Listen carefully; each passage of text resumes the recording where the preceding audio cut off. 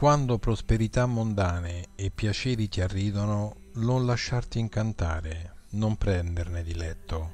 Entrano in noi blandamente, ma quando li abbiamo dentro ci mordono come serpenti.